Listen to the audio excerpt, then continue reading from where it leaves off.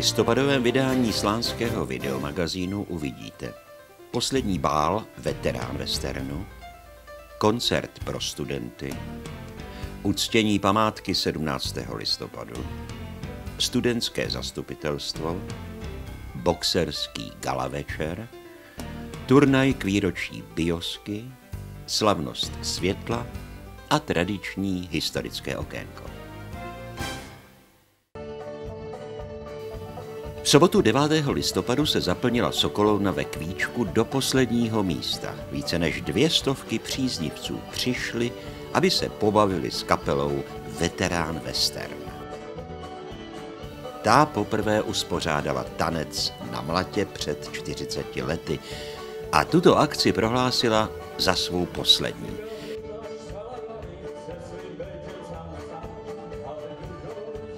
No a jakých bylo těch 40 let? No, byly tam krásné chvíle, byly to i chvíle nervů, něco se nám povedlo, no někdy, někdy ne. Prostě zkrátka 40 let normální regionální kapely. No těch 40 let můžu říct, že díky tomu, tomu kamarádovi Jardovi nepochybně patří obrovský, obrovský dík. Super. Já si myslím, že to nekončí jako to je. No naprosto úžasný samozřejmě, skvělý, superlativek, všechno bylo. Já nevím, co bych ještě řekl, no. Kapelník despota, když je, tak to prostě funguje i 40 let, jo.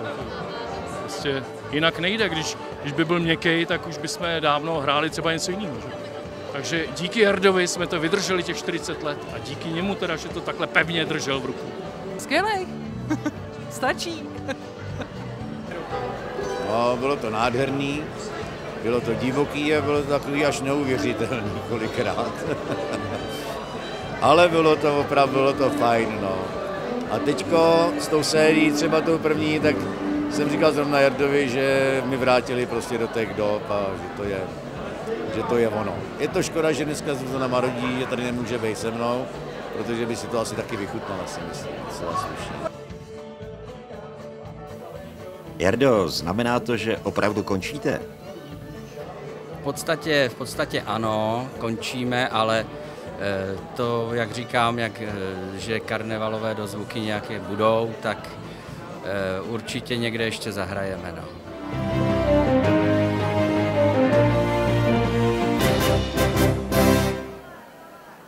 V pátek 15. listopadu se v Městském divadle uskutečnila akce pro studenty slánských škol.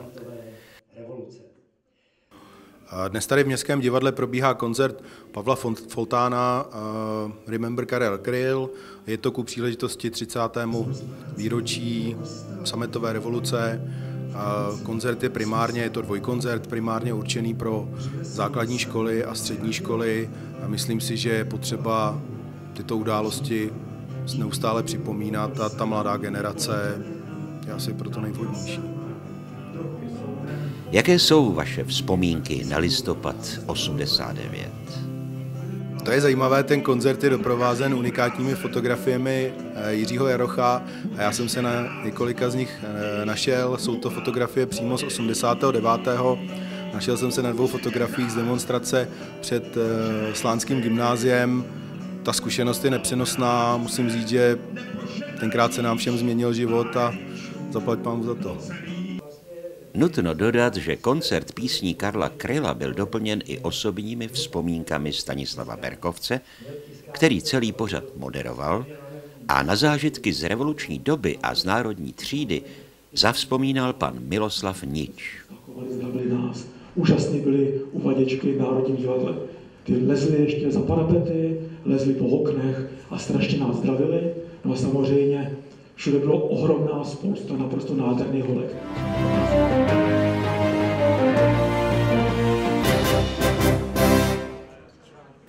Sedmnáctého listopadu v 17 hodin se sešla řada slaňáků, aby uctila památku obětí komunistického režimu a zároveň zavzpomínala na události roku 1989. Zúčastněné spoluobčany pozdravil starosta Martin Hrabánek. Přivítal, pozdravil jsem moc rád, že jsme se tady sešli Tento rok se scházíme ve větším počtu, já doufám. Já to vždycky opakuju, eh, že eh, kulaté výročí je na jednu stranu krásné, na druhé stranu má, eh, já ho nemám úplně rád, protože pokud oslavy jsou jenom v době, kdy jsou kulatá výročí, jak je to špatně. Takže jsem moc rád, že se tady řadu z vás potkávám pravidelně každoročně a pro mě je to ještě daleko přínosnější a příjemnější, že se tady setkáváme opakovaně. Já na 17. listopad vzpomínám, já jsem možná jedna z těch posledních generací, která si ho možná ještě uvědomuje opravdu eh, se všemi souvislostmi, protože mě v té době bylo asi 17 let, chodil jsem na gymnázium, takže už si myslím, že už jsem byl po pubertě, už jsem eh, nabíral rozum a eh, vzpomínám na to období eh, hodně rád. A to je ta... Samozřejmě nechyběl ani pan Miloslav Nič, který byl přesně před 30 lety mezi studenty na národní třídě. No, samozřejmě pro mě 17. listopad byla národní třída. Hodně velký zážitek osobní, i ten pozitivní, i ten negativní. A jako velký zlom mého života. Podle mě, já myslím, že můžu mluvit za ohromnou spoustu lidí, jako jsem já, že tehdy se zcela zviděla naše budoucnost, možnost žít úplně jiný život, než jsme si mysleli, že budeme žít.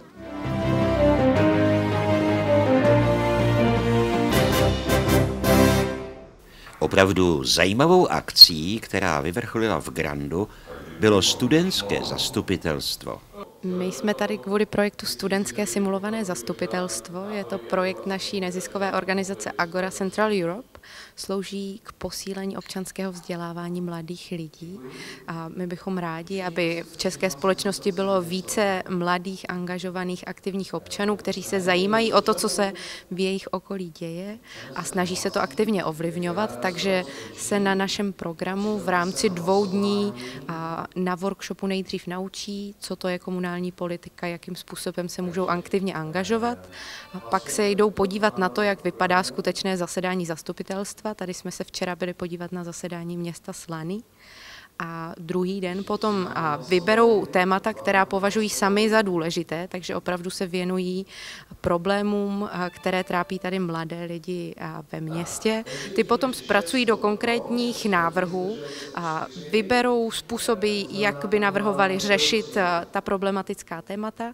Ty za pomoci radních a zastupitelů zpracují tedy do těch konkrétních návrhů a dnes je projednávají na tom studentském simulovaném zastupitelstvu. No a o čem studenti jednali? Eh, my si myslíme, že v našem městě je to takový trošku nebezpečný třeba pro děti, kteří jdou ze školy, anebo se pohybují okolo školy, protože je tam hodně lidí, kteří třeba užívají nějaký návykové látky nebo alkohol a chceme vlastně ty děti od toho odpojit, takže máme připravenou vyhlášku, kterou vlastně zakáz, zakážeme pití Eh, alkoholu na veřejnosti. Takže my jakožto eh, strana bezpečnosti našeho města eh, navrhujeme celkové zvýšení bezpečnosti v našem královském městě Slaný. A Domníváme se, že by to, takto, že by to šlo provést za pomocí zvýšení policejních hlídek. Se věnujeme kultuře ve Slaném. Máme projekty o vytvoření trekkingové stezky s rozhlednou na Slánské hoře. My chceme prosadit uh, rekonstrukci a následné využití okresního domu. My jsme strana Hnutí pro bezpečné silnice a uh, náš program pro uh, toto zasedání uh, je, řekněme, oprava uh, přechodu na ulici Fortenská. Do projektu se zapojilo i vedení města. Já musím říct, že moje skupina si vybrala témata životního prostředí a kultury, co jsou témata, která jsou mi velmi blízká, takže uh, jsem se velmi rád zapojil a uh, musela mě paní asistentka nebo školitelka téměř vyhánět, protože jsme pořád měli co řešit a já doufám a držím svoji skupině palce, že uspějí a ukážou, že to, co jsme vymysleli, má smysl a podařilo by se jim to na klasickém zastupitelstvu i prosadit. Já jsem se strašně rád zúčastnil studentského zastupitelstva, eh, protože tuhle tu akci považuji za velice důležitou. My jsme před lety dělali takzvaná studentská fora, vždycky nám to pomáhalo i eh, v nějakých nápadech eh, pro mladší generace a proto jsem se rozhodl zapojit se, aktivně se zúčastnit zasedání studentského zastupitelstva, kdy jsem celý den pomáhal jedné skupince s přípravou materiálu a poté jsem měl tu čest předsedat celému zasedání zastupitelstva. A musím se přiznat, že jsem byl velice mile překvapen eh, kvalitou projektů a výborným projevem eh, mladých studentů, kteří, troufám si říct, že byli stejně dobří jako současní zastupitelé.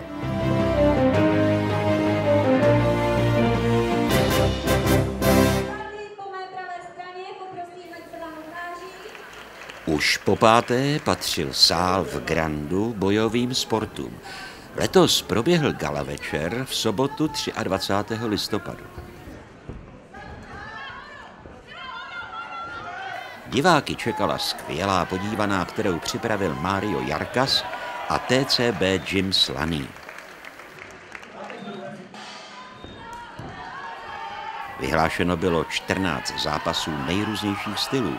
Od začínajících borců, kteří tady sbírali první zkušenosti, přes ženy až po zkušené borce.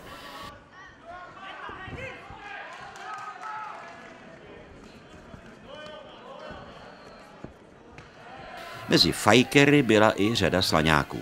No a upřímně řečeno, natěšené publikum, které přišlo především na domácí borce, určitě čekalo přesvědčivější výkony ale i přes nějaké ty prohry v ringu to byl skutku večer plný neskutečné atmosféry.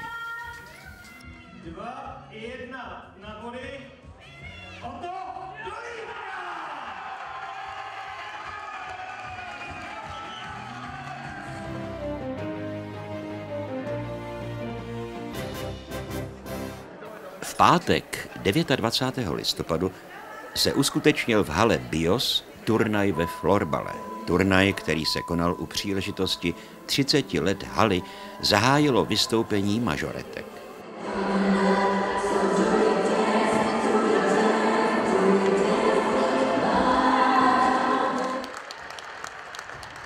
V úvodu všechny pozdravil starosta města pan Martin Hrabánek.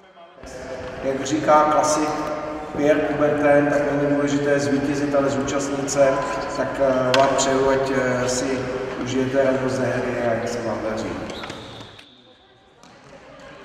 No a potom už začaly boje mezi jednotlivými družstvy.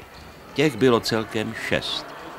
Všechny tři slánské základní školy, gymnázium, škola Kvílice a výběr Ostrova. Jak sami vidíte, kluci si nic nedarovali, a opravdu hráli naplno.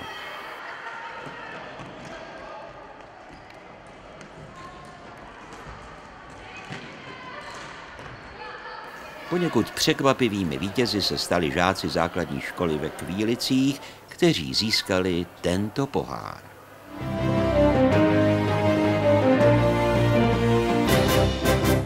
Slavnost světla a rozsvícení vánočního stromu proběhlo letos 30.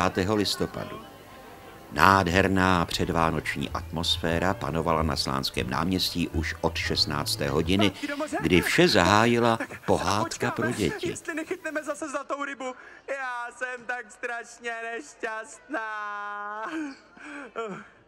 Ach jo. O hodinu později začal průvod centrem města. V jehož čele šlo vedení města.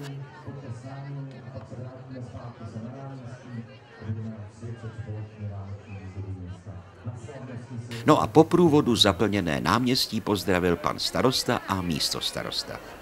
Milí slaňáci, vážení hosté, dovolte mi, abych vás srdečně přivítal. Jsem moc rád, že se po roce opět setkáváme na této krásné akci. Slavnosti světla to je období, kdy začíná nám advent, období, kdy jsme na sebe hodnější, kdy v sobě probouzíme takové to své lepší já a kdy se setkáváme společně s přáteli, se svojí rodinou, dáváme si dárky a prožíváme nádherné období. Já bych vám chtěl popřát, abyste si tohleto období užili naplno, abyste se spolu měli rádi, abyste se těšili z celého času. Děkuji, že jste přišli v tak hojném počtu, přeju vám krásné Vánoce a pojďme se posunout k tomu důležitému. V závěru vystoupení pak vyvolali společně s dětmi rozsvícení vánoční výzdoby a vánočního stromu. Budíš světlo! Budíš světlo! Tři, dva, jedna, budíš světlo!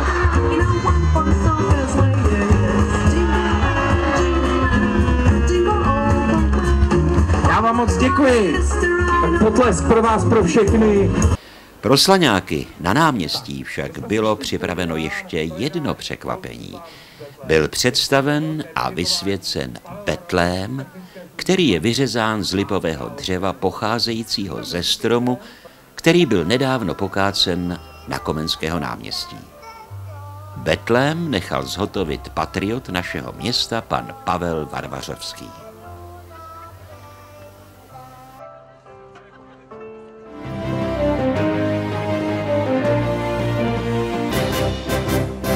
Milí slaňáci, eh, nastala doba adventu a já si vás dovolím pozvat eh, zase na pár akcí, které se budou konat tady na Masarykově náměstí ve Slaném. V loni jsme tady poprvé zkusili takový malý adventní trh a zkusili jsme to doprovodit pátečními koncerty adventními a protože to mělo úspěch, tak se k ním vrátíme i letos. 6. Eh, prosince tady vystoupí zpěvačka Magda Malá, 13. prosince tady na náměstí zase trošku zvolníme, vystoupí tady slánský projekt Barbaruna, eh, staré irské, skotské, severské písně a 20. prosince eh, tady vystoupí děti ze slánské třetí základní školy a sbor konzorcium Kamerále Slanenze. Stánky budou samozřejmě otevřené po celou dobu koncertu, budou otevřené i v průběhu všedních dní. Eh, bude samozřejmě otevřeno tady i na novoroční ohňostroj, na který vás taky samozřejmě zvu názvu. Ten bude začínat 1. ledna v 6 hodin. Rádi vás tady uvidíme.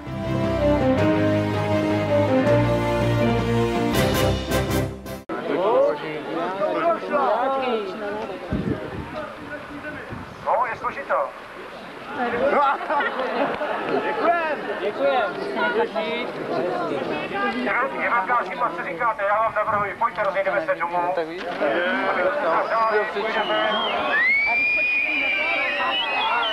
Tam vysokoškoláci, parta, která je jiná, než se jezdí. Totiž my jsme se Soudem Rokosem vystaveni velkému tlaku, protože se jezdí každý den jiná skupina vysokoškoláků.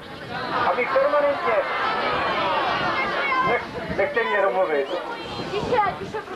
Denně od rána do večera vedeme takzvaný dialog, ale prosím vás, je to velice složité a náročné, protože se pořád bavíme jenom o 17. listopadu a žádá, jsou to nebo jsou, studenti nás žádají, aby jsme zaujímali k tomu stanoviska. Prosím vás, já jsem žádný videozáznam ze, ze zákroku bezpečnostních sil neviděl. Nechce mě domluvit. Do, té, do, té, do včerejšího dne, kdy vysok, vysokoškoláci, když jsme teda v podstatě umožnili vysokoškolákům, aby, a dokonce jsme vytvořili podmínky, aby našim studentům z ekonomické školy, eh, aby je poinformovali autenticky, jak to dneska provedli tady, eh, účastníků, teda přímých účastníků eh, eh, nepovolené demonstrace, na Václavském náměstí, aby oni pohovořili a promítli 16-minutové video.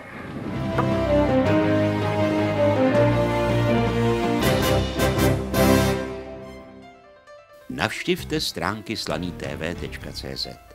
Najdete zde především aktuální reportáže, všechna vydání slánského videomagazínu a řadu dalších videomateriálů ze života města.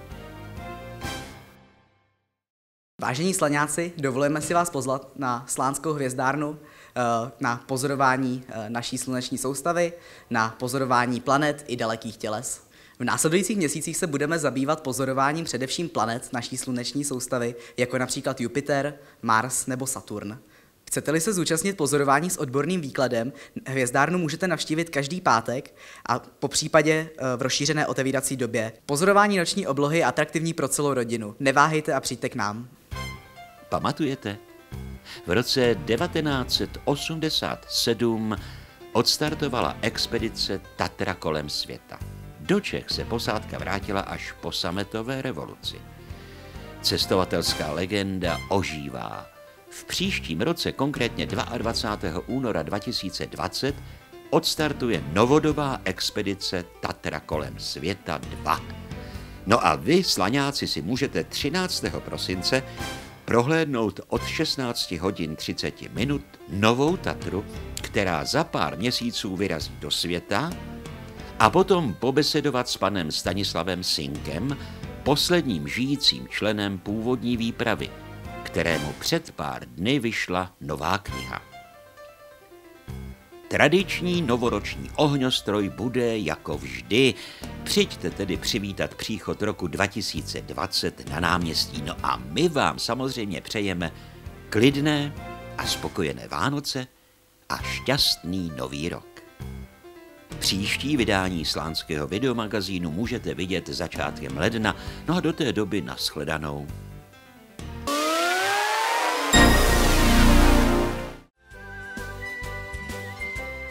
Navštivte Slánský akvapark.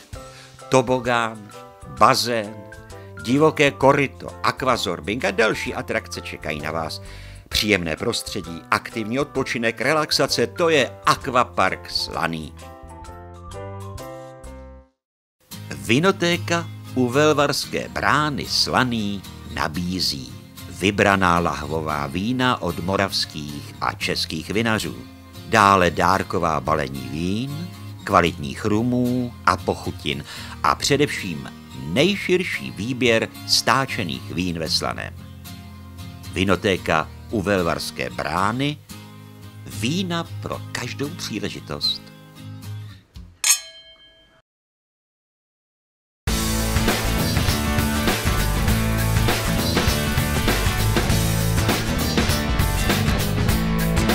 Skvělý net. Fofrtep na internetu.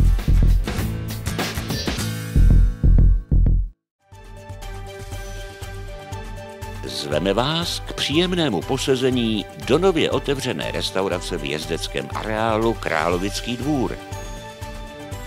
Naši kuchaři vám připraví kvalitní pokrmy z vybraných čerstvých surovin, víkendové a sezónní speciality.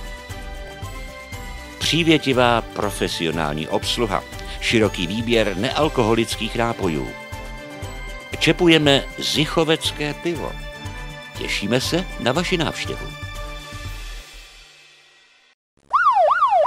Ročně policie České republiky řeší na 60 tisíc krádeží vloupáním. Tato čísla neustále rostou. Nabízíme kvalitní tuzemské zabezpečovací systémy. Připojení na bezpečnostní agenturu na 6 měsíců zdarma. EZS Drmota, dodavatel bezpečnostních a kamerových systémů.